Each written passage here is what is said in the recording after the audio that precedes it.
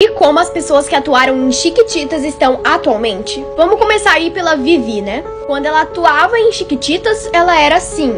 Ela tinha 11 anos, ou seja, agora ela está com seus 23 anos. Pra mim, a aparência continuou sendo a mesma. Tipo, ela tem aquela carinha de quando ela atuava, sabe? Ó, não mudou muito. Ela só cresceu, né?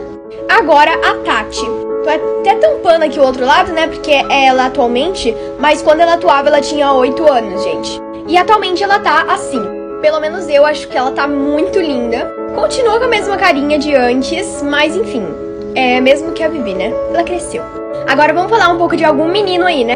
O Mosca, gente, ele era assim quando ele atuava. Não achei a idade dele, mas eles devem que tinham o quê? Uns 14, 13 anos? E atualmente o Mosca tá assim.